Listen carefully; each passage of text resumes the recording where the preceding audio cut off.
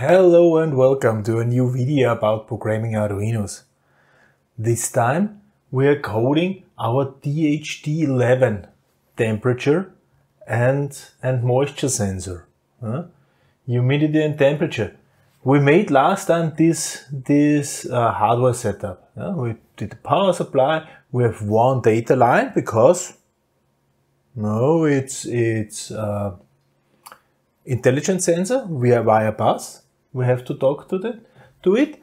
And we said it, this is one with a, with a PCB, printed circuit board.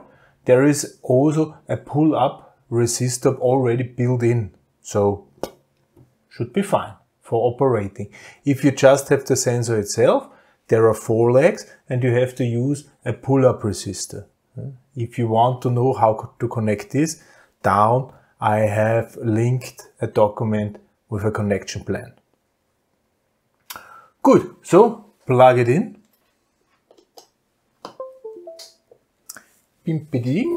And start to code. We said, okay, there is a bus. Yeah? There is a bus system. Somebody took already care, made decent programming. We're using a library, okay? But this library is not pre-installed. We have to install it. So we can do this by opening tools and manage libraries here. Manage libraries, then it takes a while, the library manager is open, tried to update the list of installed libraries and so on. Yeah. And here we can search and we are searching for the key term DHT. Okay. Now it's filtered wherever DHT is inside and you see it's quite a bunch of. Yeah? We are using this DHT sensor library from Adafruit. Yeah? Currently I've installed 1.3.10. Yeah? What is the latest version? 1.4.2. So I, you press you press here install, I press update. Okay. Now we have both installed the, the proper library. Okay, then we can close this and now we can use it. Okay. How to use it? Like always with include. So hashtag include dht.h. This is how the library is called we just, we just installed. Yeah? And I will define uh, the DHT pin and this I connected to uh, two. two. Okay. And then we have to define the object, the sensor as an object. We said in previous video, it's working almost like defining a variable. So we are defining one object of the type DHT. I will call it sensor because it's the sensor. And then we have to give the DHT pin. Yeah? And then we also have to give the type. There are several types possible. Okay, there are several types possible. Uh, we are using DHT 11. Okay, this is a DHT 11, so we're saying DHT 11. Inside the library, there are a number of such constants defined. Yeah? Uh, you can look it up in the library, or I will also write it down in the in those file I've mentioned before. Good. What we want to do is we want to read out the temperature, the humidity, and print it, print it uh, in the serial monitor. So we will start the serial connection. We'll again use 996 yeah. and serial.print line some message at the beginning measurement started. Measurement started.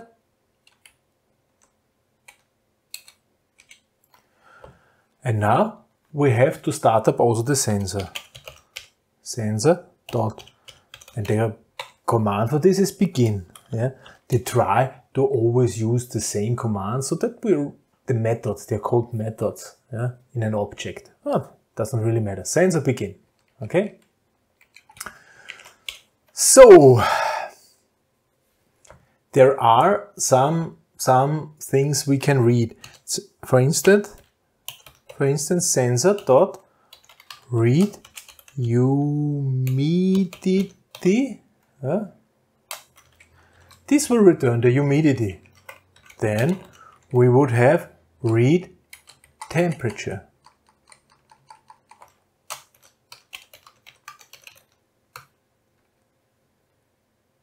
Okay. This would return the temperature in degrees Celsius. If I'm using here true, then I get the temperature in Fahrenheit. Okay, so I will simply use here some some variables. Floating point is the return value, temperature, and we said float temp in Fahrenheit, or we simply call it Fahrenheit. Okay. Now we have to check if those things which we have received are numbers. Okay. And there is a built-in function is, is called isnan. Yeah? isnan is not a number. And then we are checking the humidity.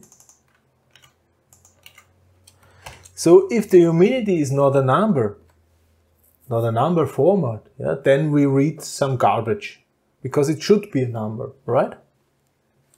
And then we make these two lines, this is an OR. So if the humidity is not a number or the temperature is not a number or uh, the Fahrenheit is not a number, yeah, then something during reading out the sensor went wrong. Yeah.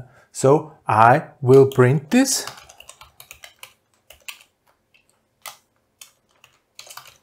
Failed to read sensor data. Good. And we make a return. What is a return? A return is ending the current function. So the loop function will be ended. It's starting here again. Yeah. So to, to reach a little bit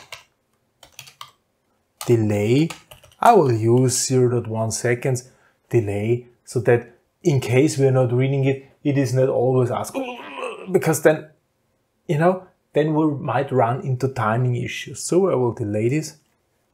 Okay. Uh, let's put it out. Serial.print temperature. Serial dot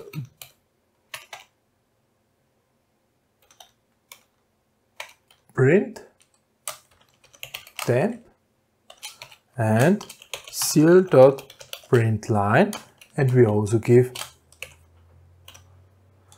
degree Celsius. We open a bracket. Inside the bracket, I want to have written the Fahrenheit.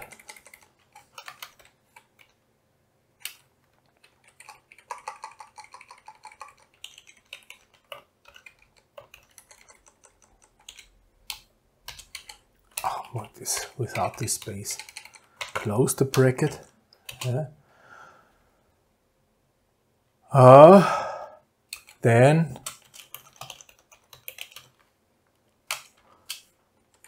oh, maybe humidity, humidity, hum, hum, not gum, not gum, yeah.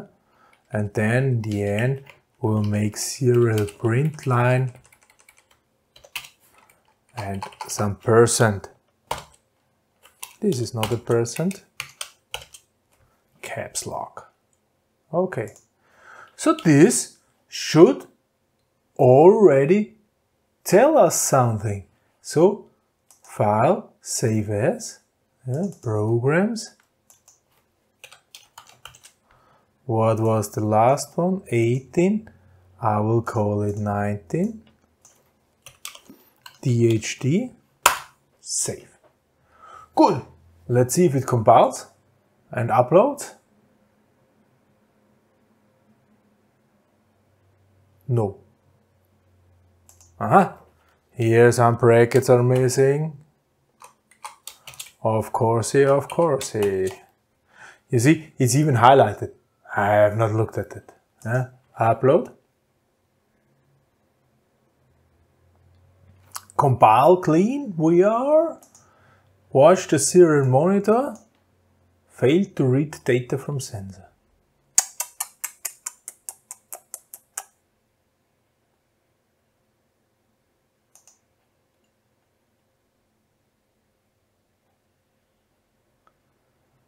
Why is that?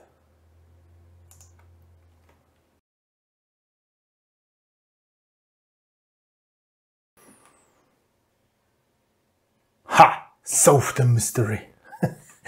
it was just a connection. I just wiggled around. It took a while, okay? I just wiggled around in the breadboard and suddenly, hey, I am reading. I'm reading something. 27.3 degree. It's hot here. It's hot there. it's a hot summer day. Yeah. So, you see, it's working pretty easy. Right? If all connections are fine. Alrighty. Yeah. Good. So, uh, this is everything you have got to do and you read out. There are also another, another possibility. You can, you know, the field temperature, a combination of humidity and temperature, yeah, is the field temperature. Yeah, you can also, in English it's called the heat index. Yeah? So we could also uh, compute the heat index in degrees Celsius this is already built in in this library. It's called compute heat index, yeah. temperature, humidity, false.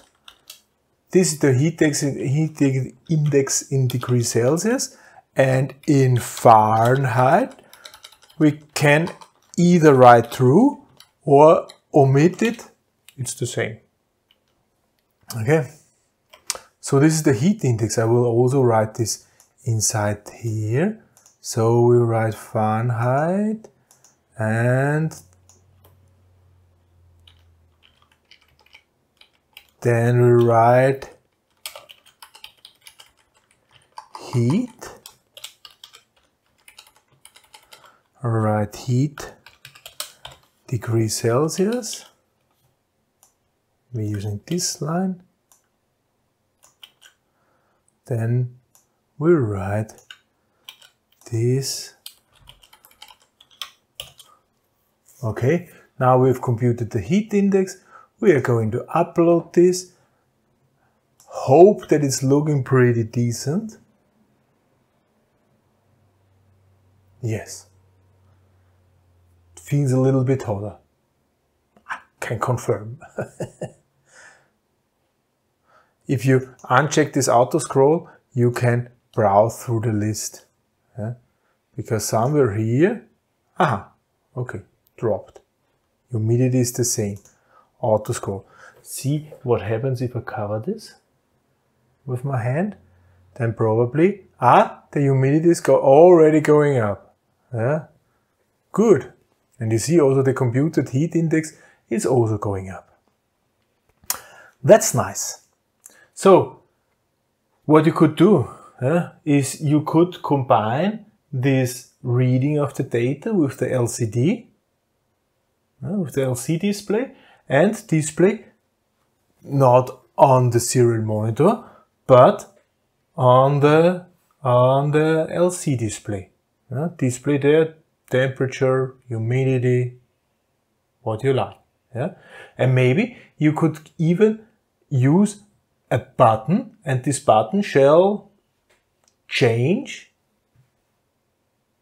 whether it is uh, in degrees Celsius or in Fahrenheit. Yeah, then we are saving we are saving space. Yeah? It be a weather station, simple one. Yeah? You can try this. I'm pretty sure you can manage. Next time we're going to start to make some noise. Okay, next time we're talking about beepers or loudspeakers or we have two in our starter kit. We will talk about those two beepers. There's a buzzers, beepers. There is an active one and a passive one. What the difference is, we will hear in next video. For this time, thank you very much for listening and goodbye.